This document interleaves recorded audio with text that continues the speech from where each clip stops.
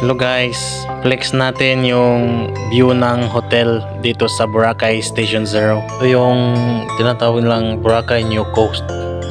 Naka-check-in pala kami dito sa Savoy Hotel dito sa Station Zero. Ito pala yung reception area nila.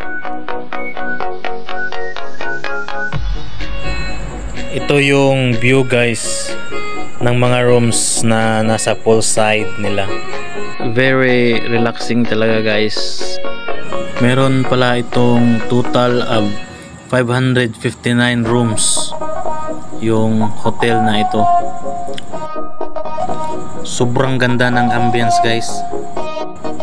Masasabi mo talaga na a home away from home. Marami din itong katabi ng mga hotels guys. Sana yan yung Belmont Hotel.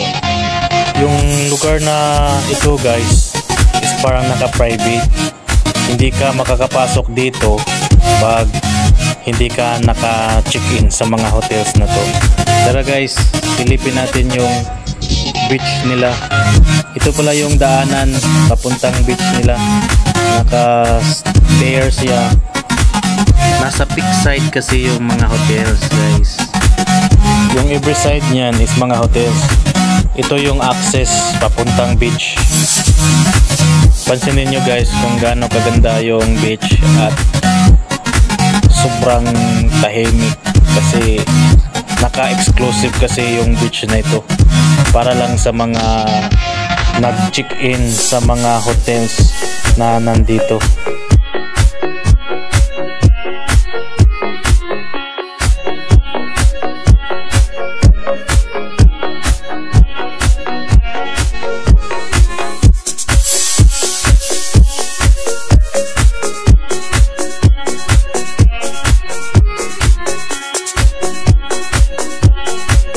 Guys, wag nyo palang kalimutan na mag-like, mag-share, at mag-subscribe sa channel ko.